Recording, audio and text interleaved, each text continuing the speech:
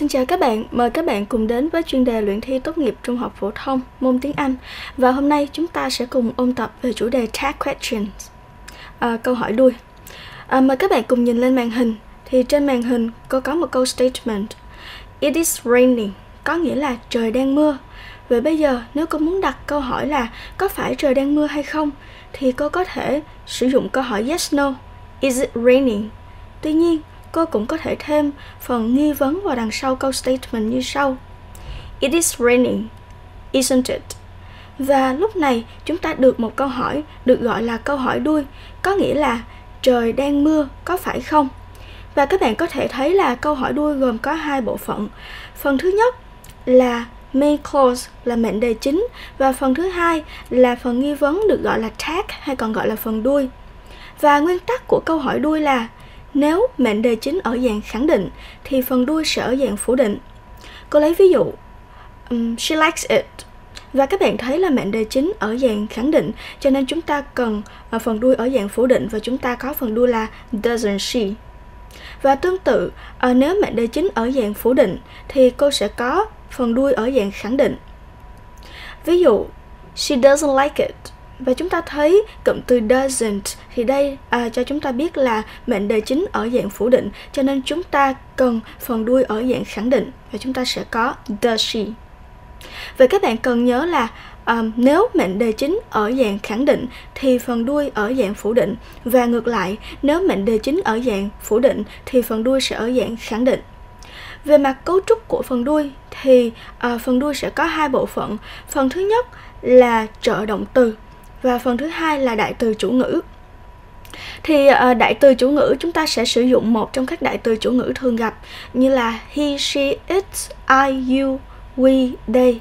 Um, về mặt uh, trợ động từ thì cô sẽ giúp các bạn cụ thể hóa bằng những trường hợp sau đây. Tri thức và khí chất Liệu có thể song hành thế hệ mới. Gạch bỏ giới hạn. Khai phá tiềm năng. Viết nên điều khác biệt. Thêm khí chất. Để tri thức lan tỏa thành nguồn cảm hứng. Biến tri thức thành sức mạnh. Để thổi bừng lên khí chất tri thức song hành cùng khí chất. Viết nên bản lĩnh thời đại. Thiên long tỏa tri thức bình khí chất.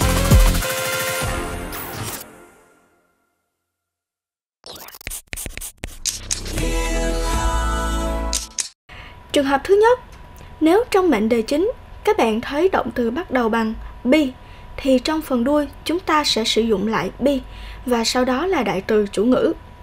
Ví dụ, you aren't a student. À, và các bạn thấy là trong mệnh đề chính xuất hiện động từ be ở thì hiện tại đơn, cho nên trong phần đuôi chúng ta cũng sử dụng be ở thì hiện tại đơn. Và phần à, mệnh đề chính là phủ định, cho nên phần đuôi sẽ là khẳng định và chúng ta có are you. À, tiếp theo là nếu trong mệnh đề chính các bạn thấy động từ thường ở thì hiện tại đơn thì trong phần đuôi chúng ta sẽ sử dụng do hoặc là does và sau đó là đại từ chủ ngữ. Ví dụ, he go to school. Và các bạn thấy động từ go ở thì hiện tại đơn cho nên phần đuôi chúng ta sử dụng uh, do hoặc là does và bởi vì he là uh, đại từ chủ ngữ số ít cho nên chúng ta sử dụng does và phía trước mệnh đề chính ở dạng à, khẳng định. Cho nên phần đuôi chúng ta sẽ sử dụng phủ định và chúng ta sẽ có doesn't uh, he. Um, tiếp theo um, nếu trong mệnh đề chính các bạn thấy động từ thường ở quá khứ đơn thì trong phần đuôi chúng ta sẽ sử dụng did và sau đó là đại từ chủ ngữ. Ví dụ, they didn't come home late và các bạn thấy à, xuất hiện động từ ở quá khứ đơn. Cho nên phần đuôi chúng ta sử dụng quá khứ đơn à, chúng ta sử dụng did. Và sau đó là đại từ chủ ngữ.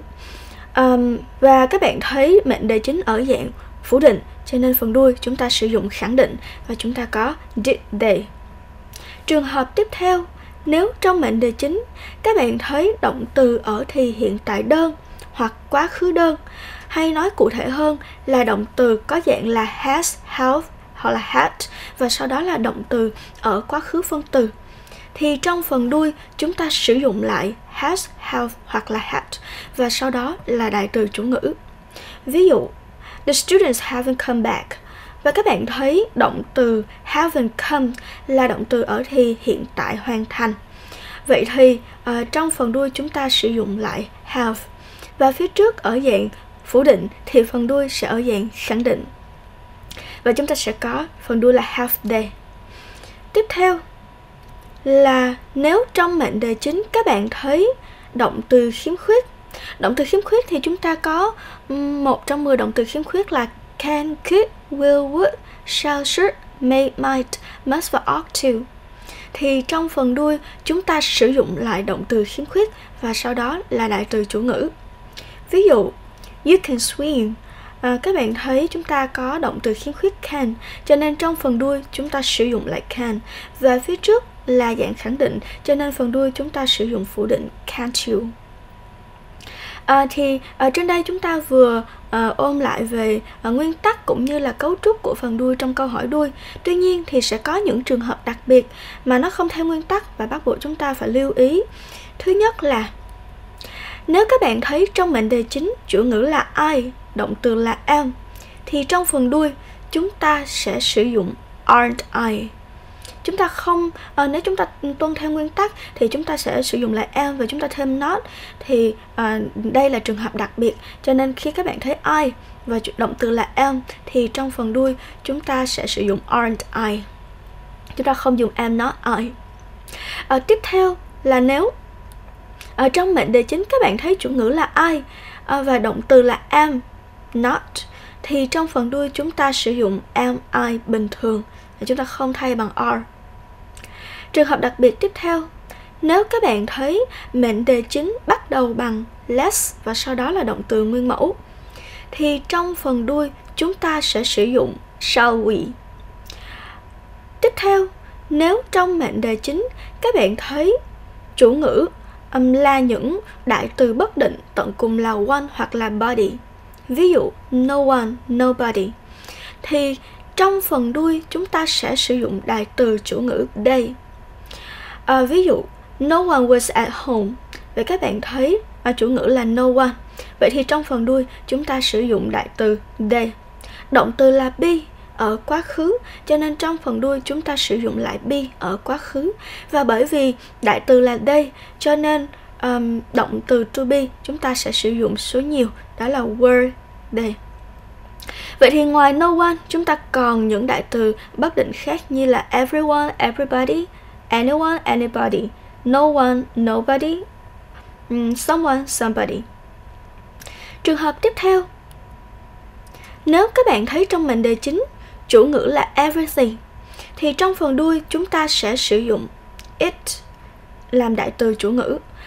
uhm, hoặc là ngoài everything thì chúng ta còn những đại từ khác ví dụ như là something, nothing, um, uh, anything thì trong phần đuôi chúng ta vẫn sử dụng uh, đại từ it vậy uh, chúng ta cùng xem ví dụ everything will be ready soon vậy các bạn thấy everything cho nên trong phần đuôi chúng ta sử dụng it động từ khiếm khuyết will xuất hiện vậy thì chúng ta sử dụng lại động từ khiếm khuyết will và chúng ta sẽ có phần đuôi là wanted. Vậy ngoài everything chúng ta sẽ còn um, something anything nothing.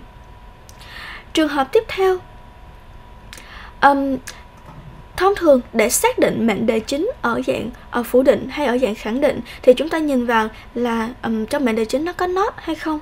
Tuy nhiên thì sẽ có những trường hợp các bạn không thấy not mà các bạn sẽ thấy những trạng từ phủ định. Thì lúc này mệnh đề chính cũng ở dạng phủ định. Ví dụ She hardly eats bread và các bạn thấy xuất hiện trạng từ hardly, đây là trạng từ phủ định. Vậy thì chúng ta cần phần đuôi ở dạng khẳng định và chúng ta sẽ có does she?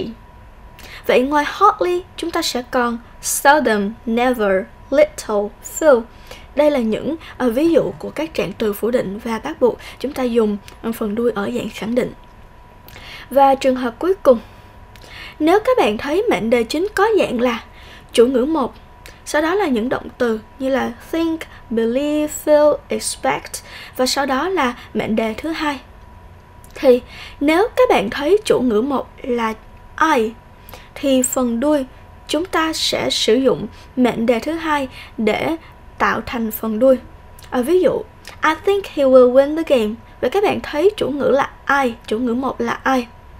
Vậy thì chúng ta sẽ sử dụng mệnh đề thứ hai đó là he will win the game để um, để tạo nên phần đuôi và chúng ta sẽ có phần đuôi là won't he thay vì nếu chúng ta sử dụng um, mệnh đề phía trước thì chúng ta sẽ có don't I nhưng mà bởi vì đây chủ ngữ là I cho nên chủ ngữ một là I cho nên chúng ta sẽ sử dụng uh, mệnh đề thứ hai à, vậy thì nếu trong trường hợp chủ ngữ một không phải là ai thì chúng ta sẽ sử dụng mệnh đề thứ nhất để chúng ta tạo nên phần đuôi ví dụ She thought it would rain the next day. Và các bạn thấy chủ ngữ một là she, không phải là I. Vậy thì chúng ta sẽ sử dụng she, uh, she thought để chúng ta tạo nên phần đuôi. Và chúng ta sẽ có phần đuôi là didn't she. Thì đây là những trường hợp đặc biệt mà các bạn cần lưu ý. Nó sẽ không theo nguyên tắc cho nên chúng ta cần phải uh, chúng ta cần phải đặc biệt lưu ý. Trường Đại học Quốc tế Sài Gòn SIU đào tạo đa dạng, đa lĩnh vực. Tất cả sinh viên đều có cơ hội để thể hiện và phát triển năng lực. Những ý tưởng luôn được khuyến khích và phát huy tối đa. Một môi trường lý tưởng để sáng tạo, để trải nghiệm, để thử thách bản thân. Hiện đại, năng động và hòa nhập quốc tế, nhưng vẫn giữ được bản sắc dân tộc. Đó là triết lý giáo dục mà Đại học Quốc tế Sài Gòn SIU luôn hướng đến. Đã đến lúc vươn xa hơn những gì đã học. Um, và chúng ta vừa ôn tập xong các dạng um, uh, cấu trúc của câu hỏi đuôi, các dạng đặc biệt cũng như là uh, nguyên tắc của câu hỏi đuôi. Và sau đây thì mời các bạn cùng uh, sang phần luyện tập. Phần thứ nhất, chúng ta sẽ điền vào uh, phần đuôi để hình thành um, câu hỏi đuôi. Câu thứ nhất, The weather is really bad today in your place. Và các bạn thấy chủ ngữ là the weather. Vậy thì chúng ta sử dụng đại từ it. Động từ là be ở thì hiện tại đơn, cho nên trong phần đuôi chúng ta sử dụng lại be ở thì hiện tại đơn. Và uh, mệnh đề chính đang ở dạng khẳng định, cho nên chúng ta cần phần đuôi ở dạng phủ định và chúng ta sẽ có isn't it. Câu tiếp theo, Tom invited us to come to his party. Và các bạn thấy chủ ngữ là Tom đây là tên riêng, chỉ giới tính nam, cho nên trong phần đuôi chúng ta sử dụng he làm đại từ chủ ngữ. Động từ invited ở quá khứ đơn, cho nên phần đuôi chúng ta sử dụng did. Và mệnh đề chính ở dạng khẳng định, cho nên phần đuôi chúng ta sử dụng phủ định và chúng ta sẽ có đáp án là, didn't he. Câu số 3. Michael rarely returns to his hometown. Và các bạn thấy chủ ngữ là Michael đây là tên riêng, chỉ người ở giới tính nam vậy thì chúng ta cần sử dụng đại từ he động từ returns ở hiện tại đơn cho nên chúng ta sử dụng do hoặc là does trong phần đuôi và bởi vì he là số ít, cho nên chúng ta sử dụng does và tiếp theo các bạn thấy trạng từ phủ định rarely rarely đây là một trạng từ phủ định vậy thì phần đuôi chúng ta cần sử dụng ở dạng khẳng định và chúng ta sẽ có đáp án là does he. Tiếp theo, everyone was taken to hospital last night. Các bạn thấy chủ ngữ là everyone. Thì đây là một đại từ bất định à, chỉ người. Vậy trong phần đuôi chúng ta sử dụng they và động từ uh, be ở thì quá khứ đơn. Cho nên trong phần đuôi chúng ta sử dụng be ở quá khứ đơn. Và tuy nhiên, bởi vì đại từ là đây là số nhiều, cho nên chúng ta sử dụng động từ số nhiều và đó là were. Và mệnh đề chính ở dạng khẳng định, cho nên phần đuôi chúng ta sử dụng phủ định và chúng ta sẽ có weren't they. Tiếp theo, He finished doing his homework when you arrived. Các bạn thấy trong mệnh đề chính đã có sẵn cho mình chủ ngữ là he, cho nên phần đuôi chúng ta sử dụng lại he. Động từ ở thì quá khứ hoàn thành had finished. Vậy thì phần đuôi chúng ta sử dụng lại had. và uh, mệnh đề chính ở dạng khẳng định cho nên phần đuôi chúng ta sử dụng phủ định và chúng ta có đáp án là hadn't he uh, tiếp theo chúng ta cùng sang các câu hỏi ở dạng uh, trắc nghiệm À, đây là câu hỏi đã từng xuất hiện um, vừa mới xuất hiện trong đề thi uh, minh họa bộ vừa công bố của năm nay. Chúng ta cùng xem. Uh, your house is opposite the cinema. Và uh, chúng ta thấy chủ ngữ là your house là um, số ít và chỉ vật cho nên chúng ta sử dụng it trong phần um, đuôi và động từ là be ở hiện tại đơn cho nên phần đuôi chúng ta sử dụng be ở hiện tại đơn và um, mệnh đề chính ở dạng khẳng định. Cho nên phần đuôi chúng ta sử dụng ở dạng phủ định. Và chúng ta sẽ có đáp án là isn't it? Câu tiếp theo. Đây là câu đã xuất hiện trong ờ, đề thi chính thức của năm 2022 chúng ta cùng xem. He is American. À, đáp án A won't he. B doesn't he. C didn't he. And D isn't he. Vậy chúng ta cùng xem câu hỏi. Ừ, trong mệnh đề chính xuất hiện đại từ chủ ngữ he, cho nên chúng ta sử dụng lại he. Động từ be ở hiện tại đơn, chúng ta sử dụng lại be ở hiện tại đơn. Mệnh đề chính ở dạng khẳng định, cho nên chúng ta sử dụng ở phần đuôi ở dạng phủ định và chúng ta có đáp án là isn't he. Tiếp theo câu số 3. There aren't and there aren't any students in the classroom. Và chúng ta cùng xem đáp án A. Is it B. Isn't it C. Are there D. Aren't there Vậy các bạn thấy ở trong mệnh đề chính chúng ta xuất hiện chủ ngữ là there Vậy chúng ta có thể sử dụng lại there Và uh, động từ là động từ be ở thì hiện tại đơn Cho nên chúng ta sử dụng lại be ở thì hiện tại đơn Mệnh đề chính ở dạng phủ định cho nên phần đuôi chúng ta sử dụng khẳng định và chúng ta có đáp án là are there. Câu số 4. Đây là câu cũng đã từng xuất hiện trong đề thi chính thức. Few people came to the party. Chúng ta cùng xem đáp án A. Did they B. Do they C. Didn't they D. Don't they Vậy các bạn thấy chủ ngữ là people. Đây là à, số nhiều cho nên chúng ta sử dụng đại từ D.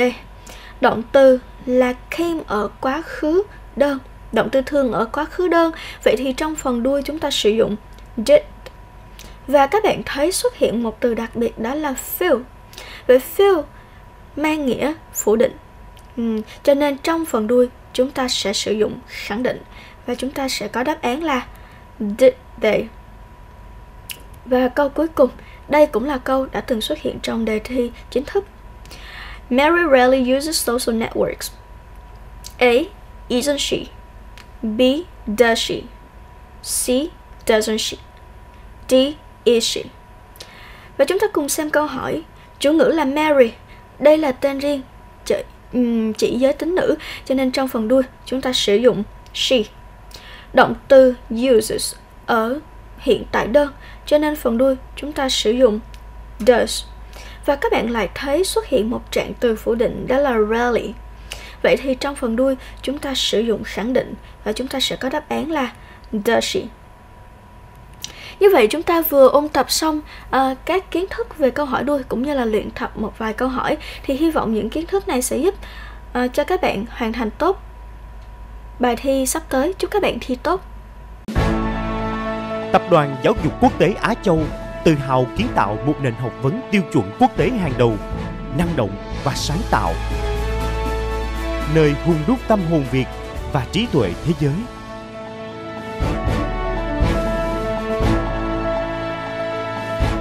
Học tiếp bậc đại học tại trường Đại học Quốc tế Sài Gòn hoặc tại các trường đại học hàng đầu trên thế giới. Tất cả trong tầm tay bạn